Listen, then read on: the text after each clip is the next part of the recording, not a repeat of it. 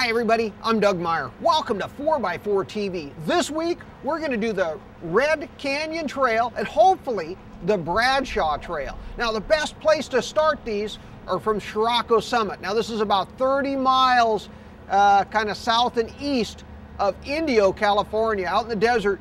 And Chiriaco Summit is the home for the General Patton Museum from World War II. Because out in this area, they had a lot of camps in the in the 1940 early 40s like 42 we're going to find out more in here. Uh, patton had a huge training area out here that had at one time as many as 190,000 men training to go overseas to fight fight world war ii and so this is a good place to learn more about general patton uh, the conditions out here and a little bit more just because it's a world war one and world war ii memorial about the greatest generation and why we have the freedom that we have today to do the things we do. So this is a cool place to start your trip because there's places to fuel up right here at Chiriaco Summit and then you can head out into the trails. But before we do that, let's check out and we'll show you what's here at the museum. Now, if you're wondering if it's worth it, let me tell you, it is indeed worth the visit to the museum. And the I believe it's four dollars per person to get inside here because it's amazing what is all housed in here. This is one of the things that really amazed me, the trench art. This is shell casings from World War One and World War II that the guys that spent a lot of time in the trenches would take these spent shell casings and pound them with their knives and other tools into this art. This is a relief map, a scaled relief map. Now there's a larger one out at one of the camps that I used to visit as a kid that is just absolutely remarkable. And I believe the BLM is in the, the uh, uh, restoring that as we speak to make this to where you can go out and visit it again because Patton could overlook the whole training area that way. A lot of stuff is in here Jeeps, trailers, a lot of guns, radios, bayonets, old uniforms, helmets. There's a lot of stuff in this museum as well as outside.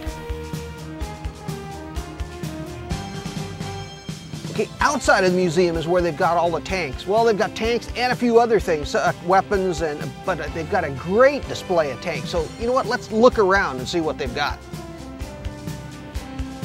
There were a lot of different vintage tanks, from more current to actual tanks from World War II, like this Sherman tank here that included a lot of big dings in it from shells and bullets uh, from actual wartime. In this trailer that was constructed for Patton as a dark room so that he could develop a lot of his photography of the area when he was training the troops. One of the Cadillacs that I suppose he was driven around in. Great experience. Wow, that is an interesting place. Really amazing, and it's a great place to to spend some time before you hit the trails. And that's exactly where we're going to head now, is the trails.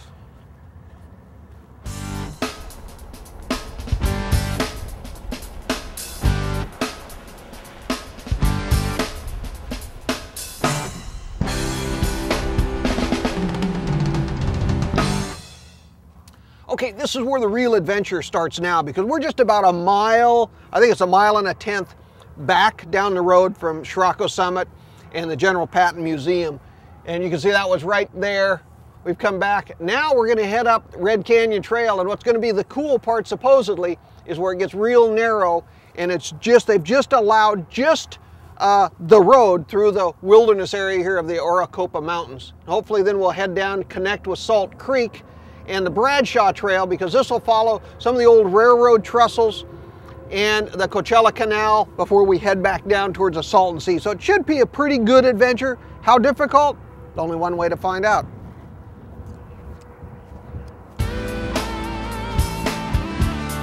And we'll be back with that adventure right after this.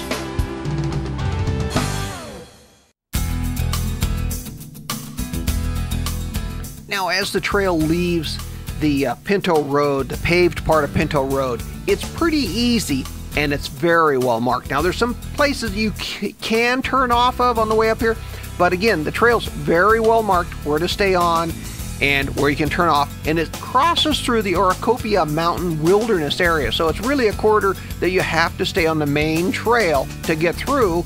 But again, this is the way that you're going to get through over into Red Canyon and down to where it would intersect with the Bradshaw Trail.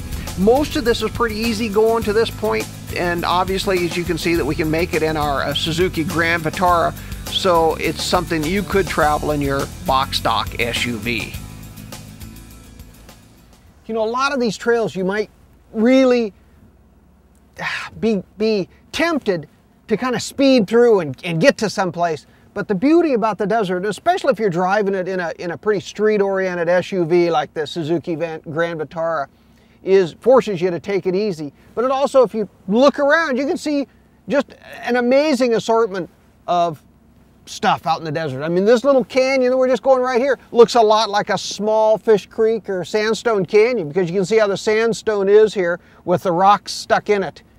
And this is taking a while to wash through. Plus all the little animal holes and animal caves, you know, in here. Very interesting.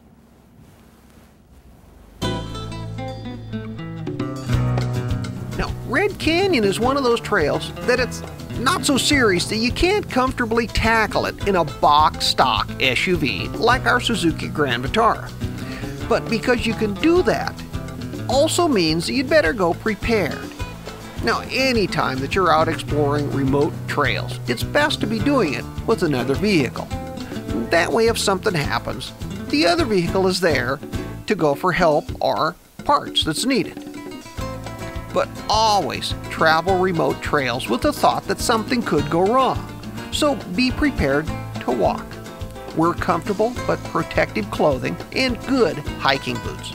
And it's also wise to carry a good supply of emergency items. And we'll spend some more time talking about the specific items that we found useful a bit later. And what we found remarkable was just how many people were genuinely surprised to see a box stock SUV out exploring the trails. Every rig that we ran across looked at us like we must have been lost to be out on the desert trails in this little Suzuki. And you know, that just shows us how misguided most people are regarding the capabilities of SUVs, even the little cute ute varieties like this. Because driven carefully, they'll probably go as many places as most people will want to. Of course, you must be very careful about your tire placement. And probably the biggest drawback we found was that we were a little bit more reluctant to explore the more rugged trails down into the canyon. But again, driven carefully, your daily driver can give you the ability to explore far more areas than you would ever think.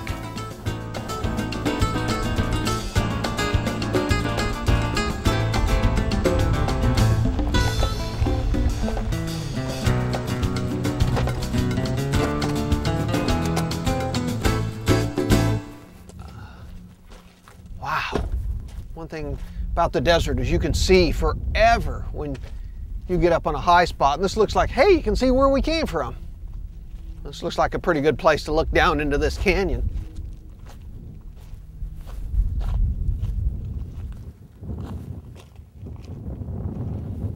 Oh yeah, this is a good spot to look over here.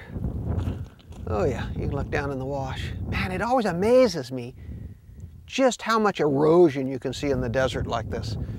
I mean, I can't imagine getting here in a flash flood or wanting to really be here, but it would be interesting to watch that, that flood come through here. And you can just see over there how those banks could just fall off into this wash.